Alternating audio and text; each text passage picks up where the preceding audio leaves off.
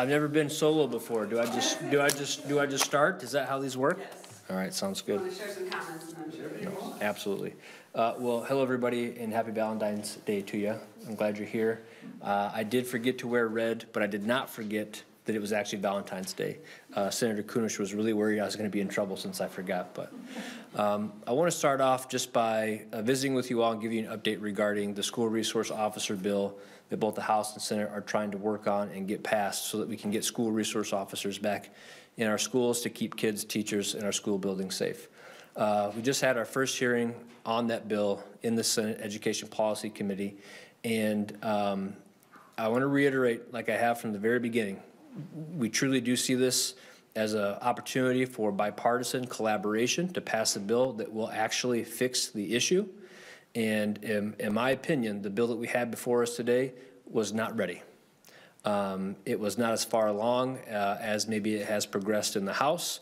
We heard a lot of, we're still working on this, we're still meeting with stakeholders, ah, that amendment's being looked at by my colleague in the House. I haven't quite, you know, had a chance to peek at it yet or want to add it to the bill, what have you.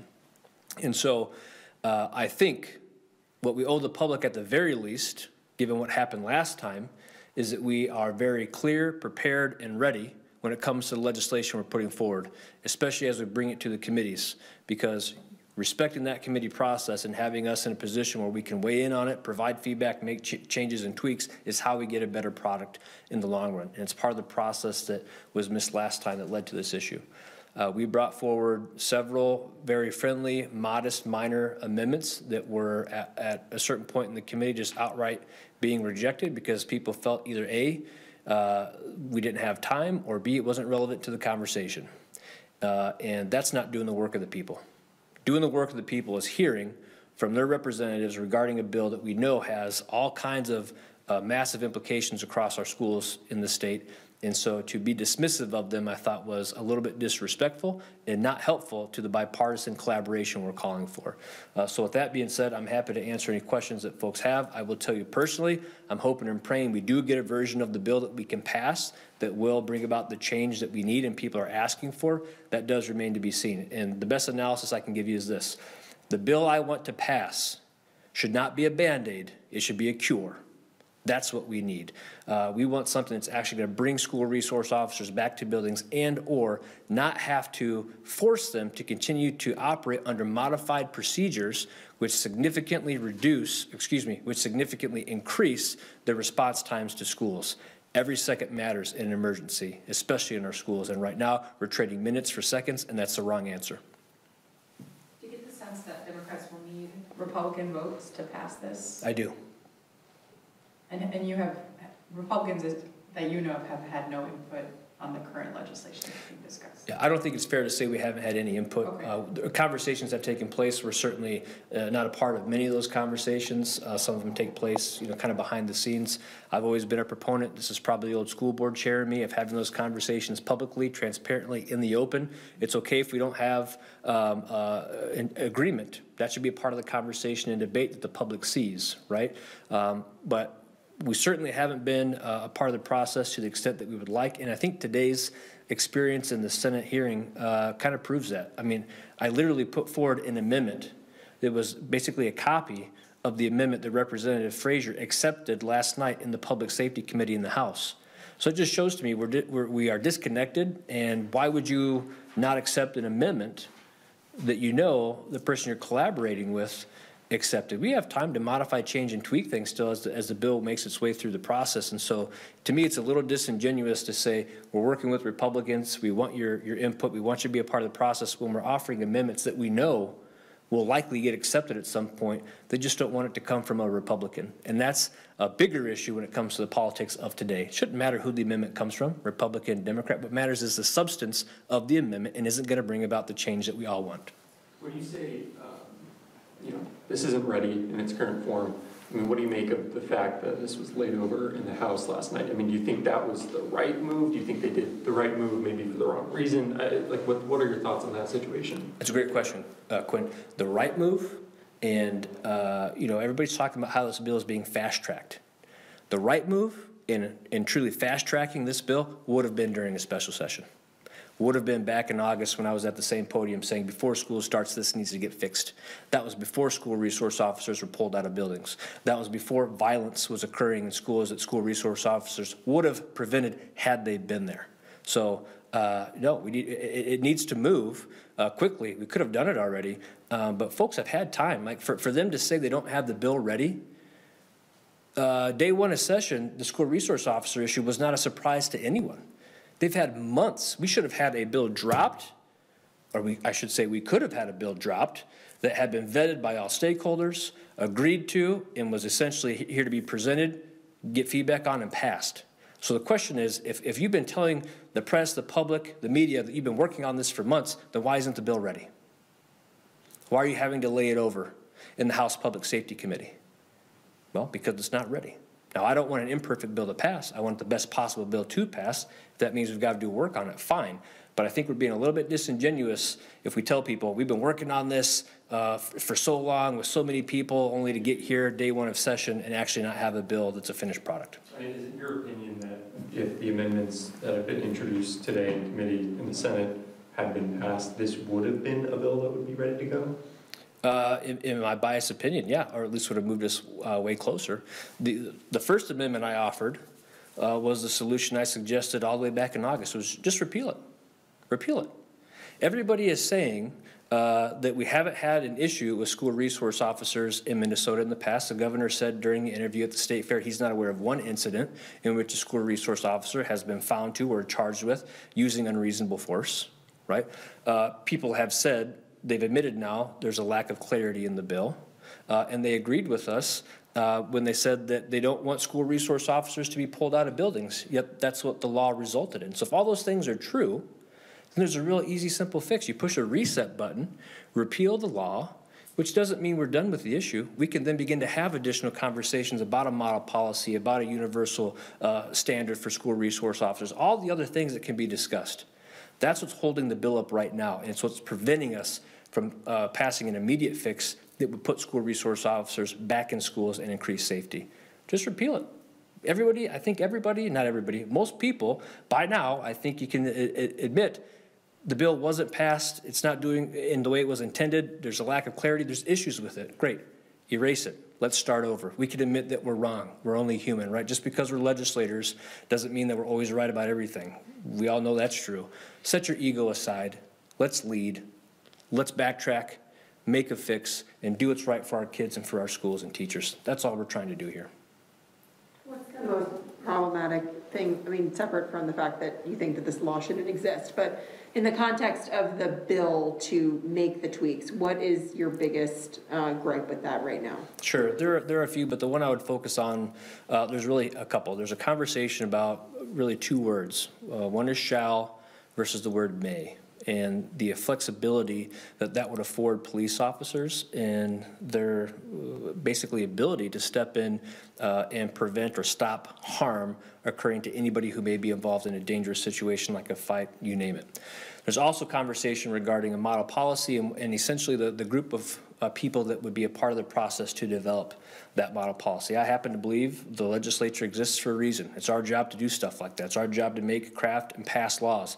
It's not our job to uh, abdicate that responsibility to groups of people who may have other agendas or a lack of expertise in a given area, especially when we know that the bill calls for that group to be uh, made up of groups who are already against the very legislation we're trying to pass that would be a fix. So I think that's part of the problem as well. We don't want to pass a bill, claim we fix it, only to have a group of unelected people then basically take us back to where we are now, which is with an existing law in the books that's an issue.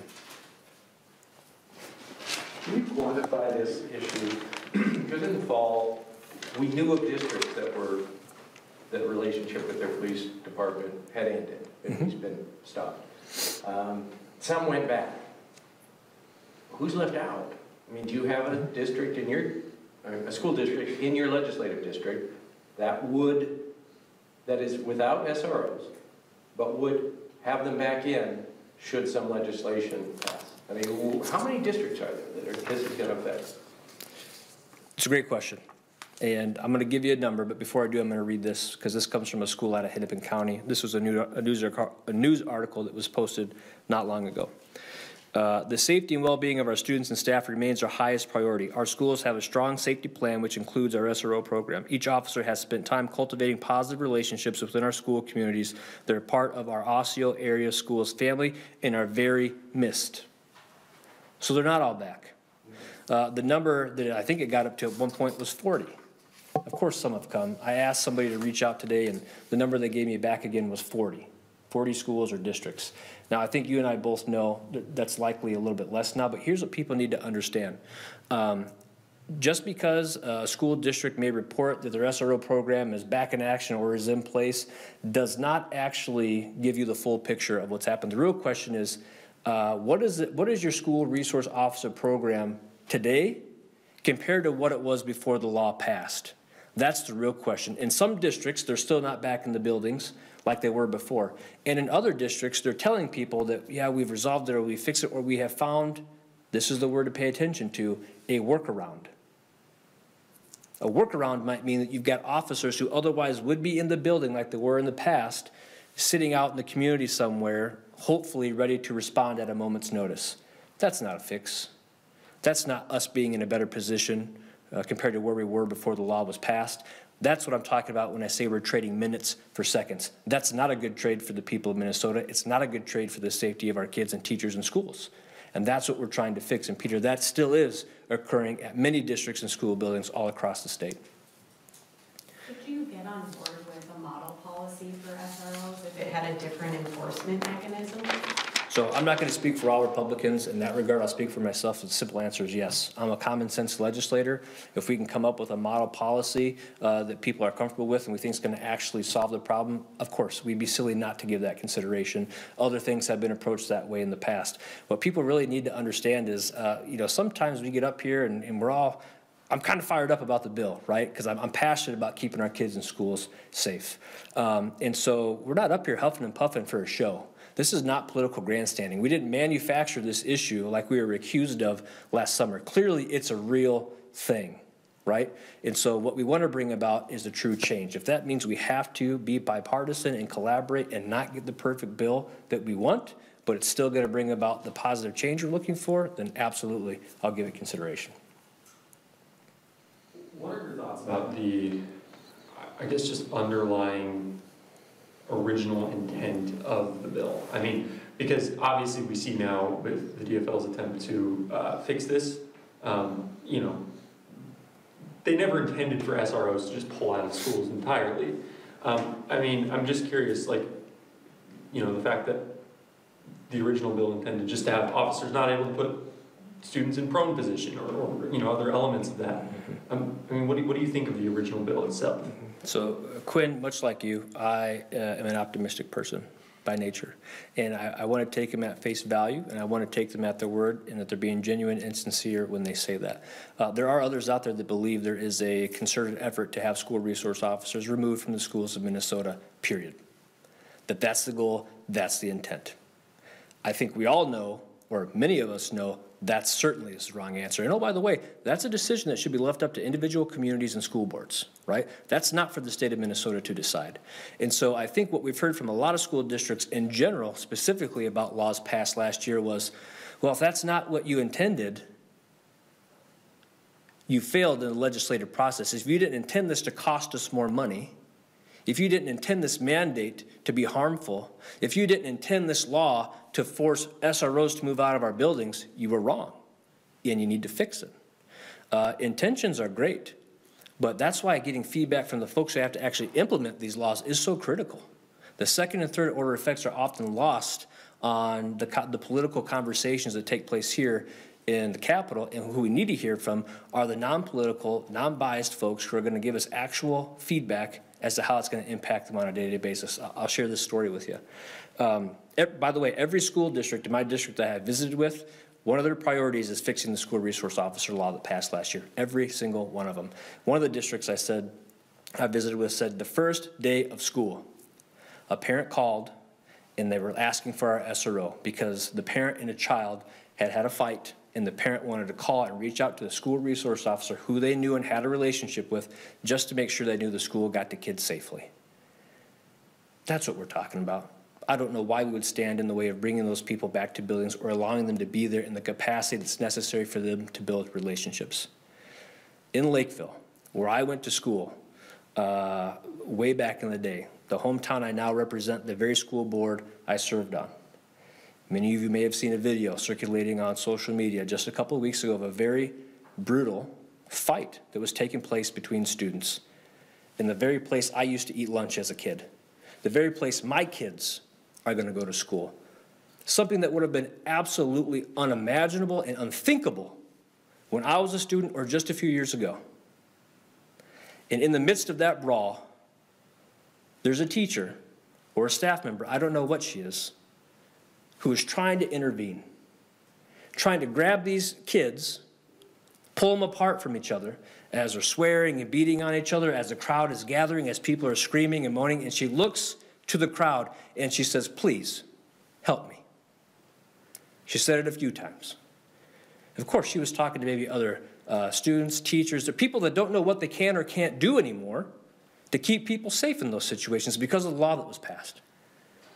And she wasn't just asking the people in that crowd for help, she was asking us as legislators, as those who oversee state government for help. And she symbolizes every teacher out there across the state right now asking for us to help them, asking for clarity, and asking us to help address the discipline issues occurring in our schools all across the state. We can't fail them. We cannot pass a Band-Aid when they're asking for a cure. When you talk about that cure, does there need to be a component that deals with why students are getting into these altercations? Of course. Of course. I don't think that can be solved only by schools, though. I mean, that, goes all the way back to family upbringing, you name it. There's, there's so many ways in which I can tell you what doesn't help uh, politicizing the issue and making it combative, making it uh, polarizing, having it divide communities. See, here, I want to address this part of the uh, conversation as well because I feel like people are either too afraid to talk about it or they just want to uh, uh, skip over it. Uh, oftentimes, all the testifiers like to talk about how this bill is, uh, or, or how school resource officers uh, in schools are harmful to minority students. Um, and all the parents I hear from, the kids that testified in the House uh, Public Safety Committee uh, yesterday, were all minority kids and minority students coming forward and saying, we want school resource officers in our schools. They keep us safe. They make me feel better about my child being in school. Uh, the kids feel more comfortable with their learning environment. That's part of the process as well. And so this we have to stop dividing communities. We have to stop dividing people by race, by demographics, by geography when it comes to helping our schools and helping our students and keeping people safe. Like I've said from the very beginning, this is universal. Republican, Democrat, black, white, greater Minnesota, suburban Minnesota, Minneapolis, St. Paul, we all care about the safety of our kids. Stop polarizing and dividing with this issue and let's actually fix it.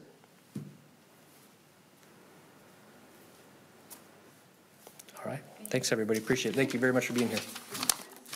Have a good Valentine's Day. Don't stay too late and avoid the snow. Is it already snowing, by the way?